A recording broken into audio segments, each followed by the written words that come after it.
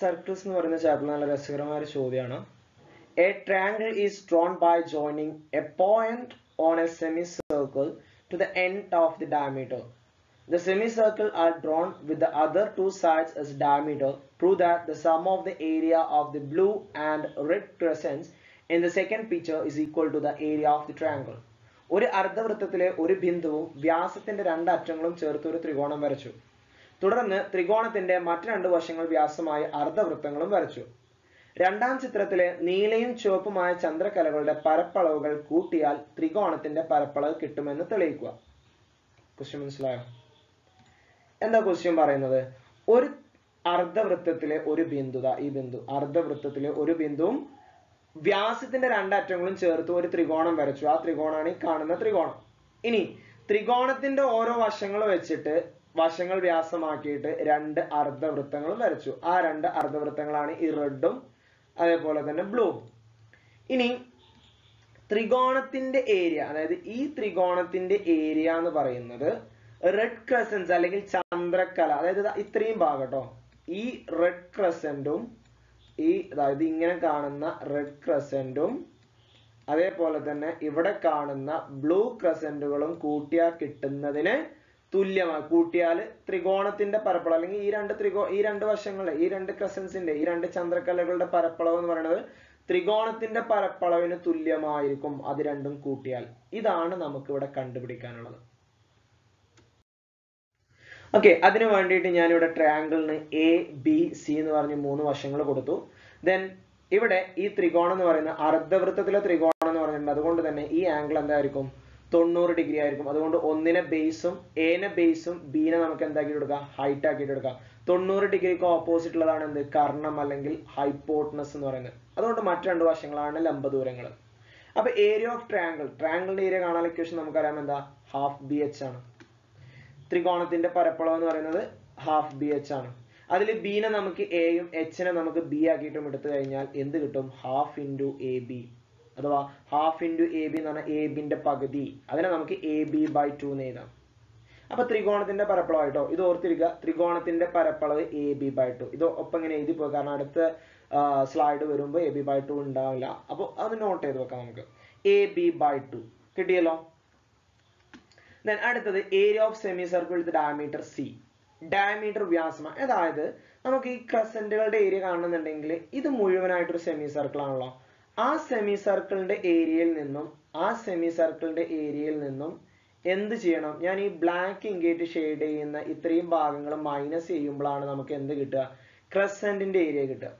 ഇവിടെ അതേപോലെ തന്നെയാണ് ഇത്രയും ഭാഗത്തിന്റെ ഏരിയ ഈ ക്രസന്റിന്റെ ഏരിയ കിട്ടണം എന്നുണ്ടെങ്കിൽ ഞാൻ ഇവിടെ ഈ വരച്ചിട്ടിട്ടുള്ള ഇത്രയും ഭാഗം എന്ത് ചെയ്യണം? മൈനസ് ചെയ്യണം. അപ്പൊ ഈ രണ്ട് റിമൈനിങ് പാർട്ട് അഥവാ ഈ അർദ്ധവൃത്തത്തിൽ ഇവിടെയുള്ള ഈ ഭാഗവും ഈ ഭാഗത്തിന്റെയും കൂടി ഏരിയ നമുക്ക് കാണണം. ആ ഏരിയ കാണണമെന്നുണ്ടെങ്കിൽ ടോട്ടൽ സെമി സർക്കിളിന്റെ ആകെ അർദ്ധവൃത്തത്തിന്റെ പരപ്പളയിൽ നിന്നും ത്രികോണത്തിന്റെ അർദ്ധവൃത്തം മൈനസ് ചെയ്താൽ പോരെ? പോരെ? മനസ്സിലായോ? അതായത് നമുക്ക് ഈ രണ്ട് ഭാഗങ്ങളുടെ ഏരിയകൾ എന്ത് ചെയ്യണം? കാണണം. അതായത് ഈ ഭാഗത്തിന്റെയും ഈ ഭാഗത്തിന്റെയും ഏരിയ എന്ത് ചെയ്യണം? കാണണം. അതിന് ഈ അർദ്ധവൃത്തത്തിന്റെ സി വ്യാസമായ അർദ്ധവൃത്തത്തിന്റെ പരപ്പളയിൽ നിന്നും ത്രികോണം ഈ രണ്ട് ഭാഗങ്ങൾ ഇങ്ങനെ ഒഴിവാക്കി കഴിഞ്ഞാൽ ബാക്കി വരുന്നത് എന്താ? ത്രികോണം. അത് ഒഴിവാക്കിയാൽ മതിയല്ലോ. അല്ലെങ്കിൽ അത് മൈനസ് ചെയ്താൽ മതിയല്ലോ. അപ്പൊ ആദ്യം നമുക്ക് ഈ അർദ്ധവൃത്തത്തിന്റെ ഏരിയ കാണണം. അതായത് area of semicircle with diameter C അപ്പൊ എന്താണ് അർദ്ധവൃത്തത്തിന്റെ പരപ്പളവ്? വൃത്തത്തിന്റെ പരപ്പളവ് എന്ന് പറയുന്നത് പൈ ആർ സ്ക്വയർ ആണ്. അപ്പൊ അർദ്ധവൃത്തത്തിന്റെ പരപ്പളവ് എന്തായിരിക്കും? വൃത്തത്തിന്റെ പരപ്പളവിന്റെ പകുതിയാണ് അർദ്ധവൃത്തത്തിന്റെ പരപ്പളവ്. അപ്പൊ pi R square by two ഇനി സി എന്ന് പറയുന്ന ഡയമീറ്റർ ആണ് കേട്ടോ ഡയമീറ്ററിന്റെ പകുതിയല്ല റേഡിയസ് അപ്പൊ റേഡിയസിനെ നമുക്ക് എന്ത് ചെയ്യാം? സി ബൈ ടു എന്ന് എടുക്കാം. ഓക്കെ അപ്പൊ pi C by two whole square by two എന്ന് വരും. ഇനി സി ബൈ ടുവിന്റെ സ്ക്വയർ കാണാം. സിന്റെ സ്ക്വയർ സി സ്ക്വയർ ടുവിന്റെ സ്ക്വയർ ഫോർ വരും. ഡിവൈഡ് ബൈ ടു ഇനി ഈ ടുവിനെ നമ്മൾ മുകളിലോട്ട് കൊണ്ടുപോകുമ്പോൾ ഈ ടു എന്ന് പറയുന്നത് ഫോറിന്റെ അടുത്ത് വരും. അപ്പൊ pi C square by eight എന്ന് വരും. ഓക്കെ ഏതൊരു സംഖ്യയുടെ വൺ ഉണ്ടാവും. ദെൻ റെസിപ്രോക്കൽ കൊണ്ട് മൾട്ടിപ്ലൈ ചെയ്യുമ്പോൾ ടു ബൈ വൺ എന്നാണ് അല്ല സോറി വൺ ബൈ ടു എന്നാണ് ടു ബൈ വണ്ണിന്റെ റെസിപ്രോക്കൽ എടുക്കുമ്പോൾ വൺ ബൈ ടു അങ്ങനെയാണ് ഈ ടു താഴെ വരുന്നത് കേട്ടോ. അപ്പൊ നമുക്ക് എന്ത് കിട്ടി? Pi C square by eight എന്ന് കിട്ടി. അത് വൃത്തത്തിന്റെ അഥവാ അർദ്ധവൃത്തത്തിന്റെ പരപ്പളമാണ് ഇനി ആ റിമൈനിങ് പാർട്ട് അഥവാ ബാക്കി വരുന്ന ഭാഗം ഉണ്ടല്ലോ ഏത്? ഈ ഭാഗങ്ങൾ. അർദ്ധവൃത്തത്തിൽ നിന്ന് ത്രികോണം ഒഴിവാക്കിയിട്ട് ബാക്കി വരുന്ന ഈ ഭാഗങ്ങൾ. അതിന്റെ പരപ്പളവ് കാണണം. അതിന്റെ പരപ്പളവ് എങ്ങനെ കാണാം? അർദ്ധവൃത്തത്തിന്റെ പരപ്പളവിൽ നിന്നും ത്രികോണത്തിന്റെ പരപ്പളവ് എന്ത് ചെയ്താൽ മതി? മൈനസ് ചെയ്താൽ മതി. അപ്പൊ pi C square by eight minus A B by two ഇതാണ് ആ റിമൈനിങ് പാർട്ടിന്റെ ഏരിയ അത് അവിടെ തന്നെ വെച്ചോളൂ. അതേപോലെ വെച്ചോളൂ. സിംപ്ലിഫൈ ചെയ്യണ്ട. സിംപ്ലിഫൈ ചെയ്യാതെ ചെയ്യുമ്പോൾ നമുക്ക് ക്യാൻസൽ ചെയ്യാൻ പറ്റും. ഓക്കെ ഇനി ഈ ക്രസന്റുകളുടെ ഏരിയയാണ് കാണേണ്ടത് ക്രസന്റുകളുടെ ഏരിയ കാണണമെന്നുണ്ടെങ്കിൽ ഈ രണ്ട് അർദ്ധവൃത്തങ്ങളുടെ ഏരിയ കണ്ട് അത് കൂട്ടിയിട്ട് അതിൽ നിന്ന് ഈ റിമൈനിങ് പാർട്ടിന്റെ ഏരിയ മൈനസ് ചെയ്താൽ പോരെ. അപ്പൊ നമുക്ക് ക്രസന്റ് ഈ റിമൈനിങ് പാർട്ട് ഒന്ന് ഇത് സോറി അതിന്റെ അപ്പുറത്തേക്ക് പോയി. ഒന്ന് ഇതും ഒന്ന് ഇതും ഈ രണ്ട് റിമൈനിങ് പാർട്ടിന്റെ ഏരിയ മൈനസ് ചെയ്താൽ മതി. ഈ രണ്ട് റിമൈനിങ് പാർട്ടിന്റെ ഏരിയയാണ് ഈ കാണുന്ന എന്ത്? Pi C square by eight minus A B by two അപ്പൊ നമ്മൾ ആദ്യം ഈ രണ്ട് ചുവന്ന അർദ്ധവൃത്തവും ഈ ചുവന്ന അർദ്ധവൃത്തവും ഈ നീല അർദ്ധവൃത്തവും ഇതിന്റെ രണ്ടിന്റെയും ഏരിയ കാണണം. ഓക്കെ അപ്പോ area of semicircle with diameter A നീലയുടെ diameter A ആണല്ലോ. നീല ഭാഗത്തിന്റെ ഡയമീറ്റർ എന്താ വരിക? എ ആണ് വരിക. നീല ഭാഗത്തിന്റെ ഡയമീറ്റർ എന്താണ് വരിക? എ ആണ് വരിക. അപ്പൊ നമ്മൾ നേരത്തെ പറഞ്ഞ പോലെ തന്നെ അർദ്ധവൃത്തത്തിന്റെ പരപ്പളവ് എന്താണ്? വൃത്തത്തിന്റെ പരപ്പളവിന്റെ പകുതി. അപ്പൊ pi A by two the whole square എന്ന് വരും. ഓക്കെ ഡയമീറ്റർ എ ആണല്ലോ അപ്പൊ റേഡിയസ് എന്തായിരിക്കും? എന്റെ പകുതി ആയിരിക്കും. അപ്പൊ pi A by two whole square by two അതിന് കാണുമ്പോൾ എങ്ങനെ കിട്ടും? ആ സ്ക്വയർ ഉള്ളിൽ കൊടുക്കുമ്പോൾ എന്റെ സ്ക്വയർ എ സ്ക്വയർ ടുവിന്റെ സ്ക്വയർ ഫോർ ഓക്കെ അപ്പൊ pi A square by five pi A square by four by two ഇനി ടൂവിനെ മുകളിലോട്ട് കൊണ്ടുപോകുമ്പോൾ അത് എവിടെ വരും? നാലിന്റെ അവിടെ. അപ്പൊ pi A square by eight ഇനി അതേപോലെ തന്നെ ബി വ്യാസമായ അർദ്ധവൃത്തത്തിന്റെ പരപ്പളവ്. അതിന്റെയും റേഡിയസ് എന്തായിരിക്കും അപ്പോ? ബി ബൈ ടു ആയിരിക്കും. അപ്പൊ pi B by two square by two അപ്പൊ pi B square by four by two അതിന് എന്ത് കിട്ടും? Pi B square by eight എന്ന് കിട്ടും. ഓക്കെ ഇപ്പൊ രണ്ട് അർദ്ധവൃത്തങ്ങളുടെ പരപ്പളായിട്ടോ ഇനി ഈ രണ്ട് അർദ്ധവൃത്തങ്ങളുടെ പരപ്പളവുകൾ കൂട്ടിയിട്ട് ഈ രണ്ട് അർദ്ധവൃത്തങ്ങളുടെ പരപ്പളവ് കൂട്ടിയിട്ട് അതിൽ നിന്ന് ഈ റിമൈനിങ് പാർട്ടിന്റെ പരപ്പളവ് മൈനസ് ചെയ്താൽ മതിയല്ലോ.